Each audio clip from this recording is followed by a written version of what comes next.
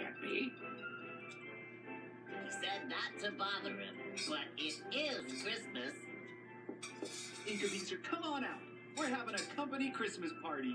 We got you something. Leave it by the door. I, uh, I was busy that year. Okay, next year.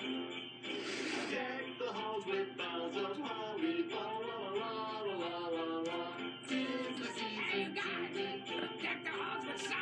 trying to get rich in here. Ah! Can we get out of here, please?